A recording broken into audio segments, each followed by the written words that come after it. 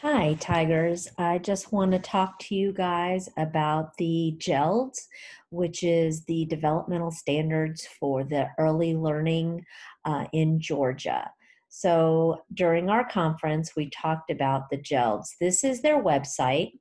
Here's the home that it'll tell you about the different domains that we assess the children on physical development and motor skills, social and emotional development, approaches to play and learning, communication, language and literacy, and cognitive development and general knowledge. When you go into the GELDS, it will have the five developmental domains, and you click on the first one, and you see select age group.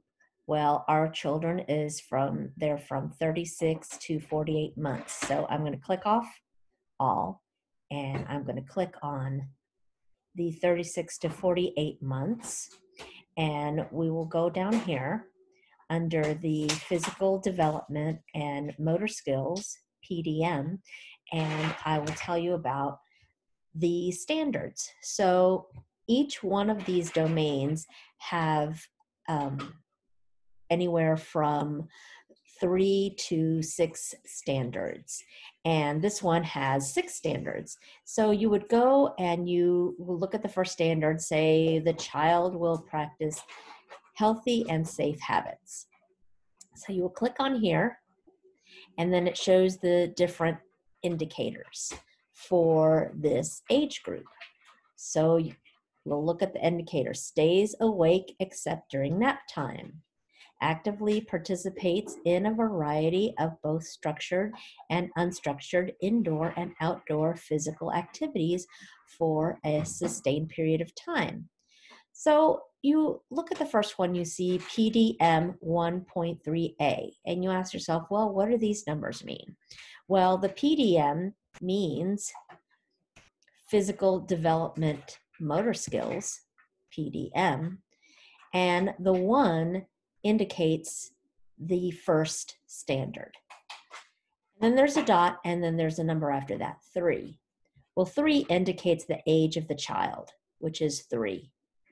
And the A is in the first place, so that is the first indicator. Thus, PDM, one as in the first standard, period, three as in the age, three year old, and A in the first area. So to get more information, you can actually click this and it shows the indicator detail. Stays awake except during nap time. The rationale. Three-year-olds are actively engaged in their daily routines with a good night's sleep and often an afternoon nap. And here are examples. And it shows you the different examples that three-year-olds should be doing or starting to do. So let me click on this. Each one has these type of details that you can look on. Some of them have videos that you can see and they show you samples. This is what the teachers um, are using. These are standards that help your children become successful in the pre-K and kindergarten. Um, this right here, 48 to 60 months, is the indicator and the standards for a pre-K student. After that, the Georgia standards use GKIDS. GKIDS has a website, um, and that one talks about what your kids are supposed to be learning in kindergarten and what they're supposed to be taught and the standards that they're supposed to complete. So you can go on each one of these. Here's social emotional, and you click on here. The standard is social emotional development, SED. And one is the first standard. The child will develop self awareness. And then you look down, and here are the different indicators of self awareness recognizes self as a unique individual, demonstrates knowledge of personal information. Let's click on this one right here. Three year olds are more independent and start to define themselves in more concrete terms as part of their self identity. Responds, I have a brother in my family, after teacher talks about the concept of family in class. All your kids did great with that one, actually. And then it goes on approaches to play and learning, child would discriminate, de- demonstrate initiative and self direction. There's the language and literacy, that's reading, and cognitive skills. Now, cognitive has subdomains, which means they have math, science, social studies, creative development, and cognitive process. This is like counting numbers and sequencing and solving problems. Scientific skills. This goes into physical science and living things, earth and sky. This is dance and expressive movement and moving objects and playing instruments and being creative in dramatic play and cognitive processes, cause and effect, building new knowledge, and problem solving. So, all these standards are here for you guys to look and see. And these are what the teachers are supposed to be um, assessing your children on.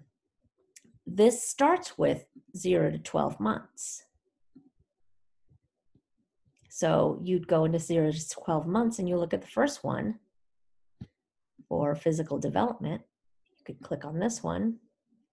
Sleeps well and shows alertness during waking period, periods. And it shows the month here. And you can click on the indicator and it shows what your child should be doing or should have done during this time. Zero means 0 to 12 months old. Now, on this website, there are also resources that you can click on that helps you with different things. Um, there are videos, instruction on what everything looks like or supposed to look in the classroom when the teachers are teaching and then indicators. These are training for the teachers, of course, um, how to write lesson plans and stuff like that. And um, this just tells you who started the D, the um, GELDS program and what's it all about, and it's connected to the Georgia preschool pre-K program, and um, this is a really great resource and really good website um, that you guys should check out. So um, when I do lesson plans, I will put down. Let me click this off and click on this one. I will put down an indicator. So, say, um, for example, recognizes self as unique individual. Um, I will do a lesson plan on um, having the children look in the mirror and talk to talk about themselves or who they are, or have the children um, what they did is they did their self drawings that they did. And that was part of the standards, um, recognizing the self awareness. And so I will write down in the lesson plan, um, child will do a um, drawing of the self. Um, and I would put this num I would put this down below it um, SED 1.3a, and I'd put that indicator below um, the instructions. So um, in the lesson plans, that Beverly or the my assistant teacher um, would know that this is what I am assessing um, this is what I'm looking at. And um, when the child does that, I check it off. And I keep a lot of these um, works that your child does in a portfolio. And then at the end, I look back on it and um, I reflect and I say, okay, they did this, this, and this. They're um, they're following their developmental milestones, and that's great. And that's how I do that.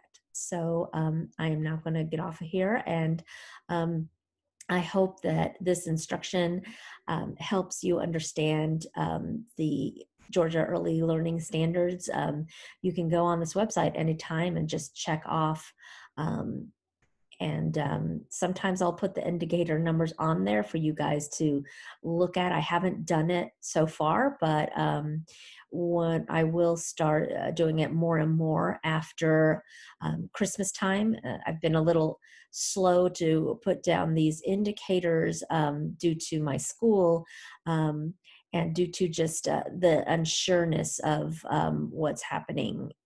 And um, now we've become we're becoming more set and things and i think i'm able to um, to be able to do this now. So anyway thank you guys very much. Take care